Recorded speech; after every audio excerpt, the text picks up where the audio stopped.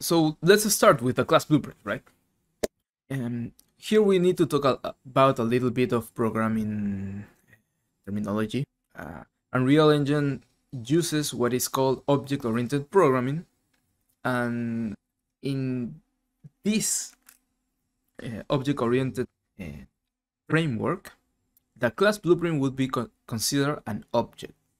What is an object? An object is something that encapsulates information and functionality, right? For example, if I needed to to have a car in the game, maybe I can create it as a, an object, right? Because I want to use it more than once and have more than one car, I could create an object called car.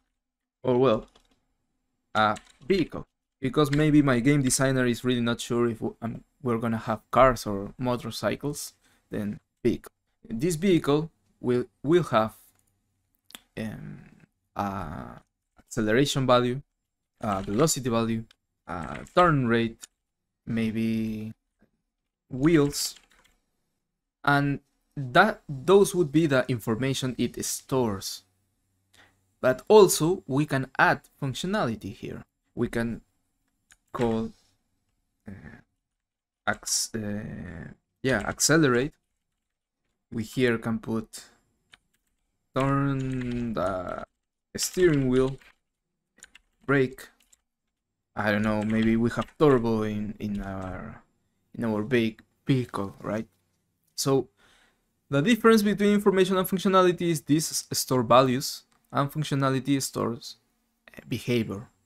Like accelerating will increase the acceleration value, this will increase the velocity value, and also it will move physically our object, right? It was it will translate it to another position.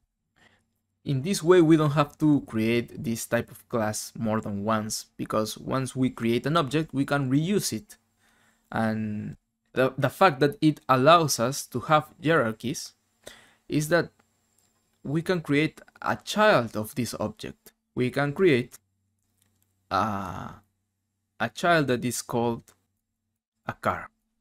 And in this car, we can define that the acceleration will be, I don't know, this value, velocity will be, I don't know, 4, turn rate, uh, 2.5, and the number of wheels will be 4.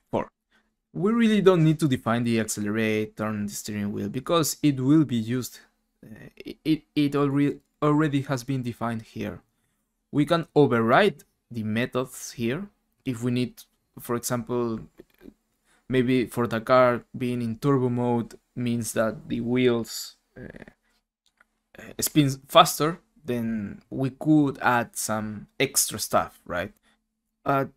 If we change our mind and we don't need a car, maybe we need a, a, a motorcycle, then it's easy to just reuse this object and create a class and just set up the name and then define like only the stuff that will be different right? Maybe I just want to change the wheels because I don't want an ATV I want a, a two two wheels only right? And I put it here too and everything will be exactly the same as the vehicle only the wheels have changed to two this means that these objects are allowed to be instanced and that these are that these instances are editable this is why when we created two lights here, uh, where it is, where is it? Lights, point lights.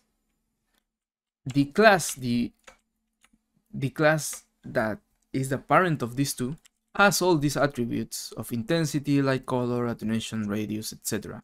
But the instances here, again, we can change the color, it won't affect the other instances. So that's a, a benefit uh, for for when we are constructing functionality and where our level uh, artists are creating more stuff here with blueprints uh, because making one change will not affect the other changes.